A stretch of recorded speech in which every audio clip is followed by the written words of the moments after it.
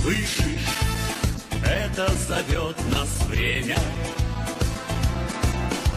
Время движется только вперед.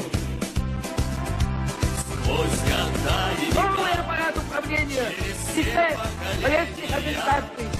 Отныне наступает новая полоса в истории России. И данная, третья русская революция සංස්ථා පුලිස් අයෝම් වැඩේස්තුලිතෝගේ ශිරිස්ී අවියදී රටේ ජනාධිපතිතුමා විදියට අයවැයේදී ප්‍රකාශයට පත් කරා වැටුම් වැඩිවීමක් තියනවා කියලා. ඒ වාර්තාවේ වැටුම් වැඩිවීමක් තියනවා කියන එක ප්‍රකාශ වුණා. නමුත් දවස් තුනකට පස්සේ මුදල් නැමති කෙනෙක් කියලා කෙනෙක් ඇවිල්ලා නැවත කියනවා ඒක අය සීමාවක් පමණයි වැටුම් වැඩිවීමක් නෙවෙයි කියලා. මෙන්න මේ ආකාරයෙන් මේ රටේ මිනිස්සු ඉල්ලන්නේ කියලා හිතලා දෙන්න හදන දේ කපලා තියෙනවා. මේ 2500 වැටුප් වැඩි කිරීම කියන එක අපි කියපු එකක් නෙවෙයි විපක්ෂයක් කියපු එකක් නෙවෙයි. සිය හැකි අවමය කියලා රටේ ජනාධිපතිතුමා තාන්දුවක් කියපු එකක්. ඒක. අයිබෝවන් අයිබුවන් ඔබතුමා ගැන කෙටි හැඳින්වීමක් දෙන්න මම නමින් රවී කුමුදේශ් මම සෞඛ්‍ය සේවාවට සම්බන්ධ රැකියාවක් කරන්නේ මගේ රැකියාව ටිකක් දිග නමක් වෛද්‍ය පර්යේෂණ තාක්ෂණ විද්‍යාඥ මම විශේෂයෙන්ම සෞඛ්‍ය දේශ සෞඛ්‍ය සම්බන්ධයෙන් නෑ ඔබ ගැන ප්‍රතිපත්ති හැඳින්වීමක් දීමට නම ප්‍රමාණවත්. ඇති ඉතින් වෘත්තීය සමිති ශේෂ්ත්‍රයේ මේ මොහොතේ පවතින අර්බුදය මොකක්ද?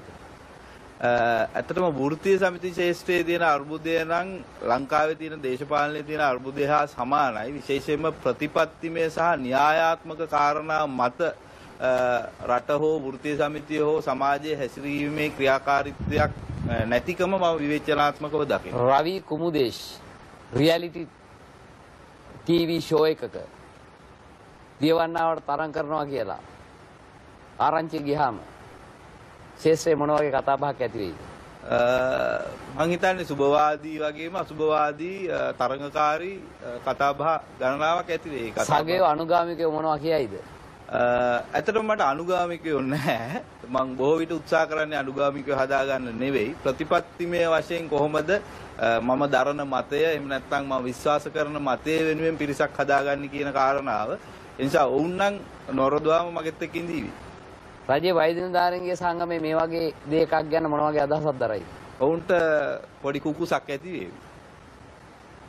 තාම ඒගොල්ලොත් එක්ක තියෙන ගැටලුව निराකරණය වෙලා නැද්ද? වෛද්‍යවරු සහ ඔබේ වෘත්තිකින් අතර තියෙන නෑ ඇත්තටම මේක වෘත්තීන් දෙකක් අතර ගැටලුවක් නෙවෙයි. මේක ඇත්තටම ගැටලුව මොකද්ද? ඇත්තටම ගැටලුව මේ රට හසුරුවන එහෙම නැත්නම් රටේ සෞඛ්‍ය සේවාව දේශපාලනිකව හසුරන පිරිස සහ රටේ වැටුප් ප්‍රතිපත්ති හසුරන පිරිස නිවැරදි ක්‍රමවේදයකට එන්නේ නැහැ. මේක දියුණු ලෝකයක් එක ගත්තාම වෘත්තිකයෙකුට අනන්‍යතාවයක් තියෙනවා. ඒ වෘත්තිකයාට නියමිත වැටුපක් තියෙනවා. ඒ වෘත්තිකයාට නියමිත මේ දවස්වල ඔබේ ඔබේ ප්‍රධාන වෘත්තීය සටන මොකද්ද? මේ දවස්වල මගේ ප්‍රධාන වෘත්තීය සම්- සටන තමයි ලංකාවට ගැළපෙන සෞඛ්‍ය ප්‍රතිපත්තියක් ගේන්නේ. කොහොමද? මේ ප- නිදහස් සෞඛ්‍ය සේවාව කියන ප්‍රතිපත්තිය ඇතුලේ මේ රටේ මහජනතාව කොච්චර පීඩාවකට ලක් වෙනවද?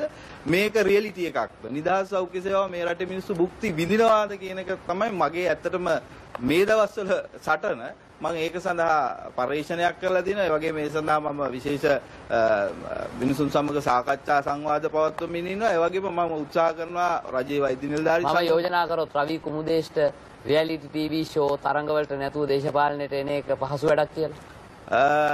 අ, එක පැත්තකින් ඒක ඇත්ත. නමුත් මං අ, විශ්වාස කරන්නේ මගේ ප්‍රතිපත්තිය උරගා බලන්න මේක හොඳ අවස්ථාවක්. මොකද මම මේ කියන දේවල් සමහර විට අ, බොහෝ දේශපාලඥයන් කියන ඒවට එක ගැලපෙන්නේ නැහැ. ඒතකොට මේ නොගැලපීම මම තවදුරටත් යනවද නැද්ද කියන එක මේ රියැලිටි ෂෝ එකෙන් මට උරගා බලන්න හම්බ වෙනවා. ඒකට මම කැමතියි. මම මගේ අන්තිම ප්‍රශ්න රවි මේ අහන්නේ. නිදහස් සෞඛ්‍ය සේවය වෙනුවෙන් අඩුම ගානේ පුංචි ගාණක් රුපියල් 10ක් හරි කමන්නේ නොමිනල් ෆී එකක් අය කරොත් මම කියන්නේ මේ රටේ නිදහස් සෞඛ්‍ය සේවාව නැහැ. එතකොට මේ නිදහස් සෞඛ්‍ය සේවාව 54%ක්ම අපි අද මේ රටේ ඉන්න දුප්පත්ම මිනිස්යාගේ ඉඳන් පොහොසත්ම මිනිස්යා දක්වා අපි පොකට් එකෙන් තමයි වියදම් කරන්නේ. අපි නිදහස් සෞඛ්‍ය සේවාව තියෙනවා කියලා රෝහලට ගියාට අපිට මැරෙන්න යන මොහොතේ මොනවා හරි ගේන්න කියනවා එළියේ. ඒක තමයි රියැලිටි එක. ඒතකොට මේක අපිට කරන්න පුළුවන් ක්‍රම දෙකක් තියෙනවා. එකක් තමයි මේ රටට පුළුවන් වෙන්න ඕනේ මේ නිදහස් සෞඛ්‍ය සේවාව කියන එක පවත්වා ගන්න ඕන මේ රටේ මිනිසුන්ගේ සෞඛ්‍ය සහ වෙල්නස් සහ හෙල්ත් කියන දෙකම බලා ගන්න ඕනේ. පොඩි ගානක් අය කරාට කමක් නැහැ මම කියන්නේ අය කරාට කමක් නැහැ කියන කෙටි ප්‍රශ්නෙට උත්තරේ ටිකක් සංකීර්ණයි. දුප්පත් මිනිස්සුයගෙන් අය කරන්න බෑ. හැබැයි ඇතිතරම් සල්ලි තියෙන මිනිසුන්ගෙන් අය කිරීම කරාට ගැටලුවක් නැහැ. ඒ අයගෙන් යප්පන්න පුළුවන් මේ රටේ දුප්පත් මිනිස්සු. මේ රටේ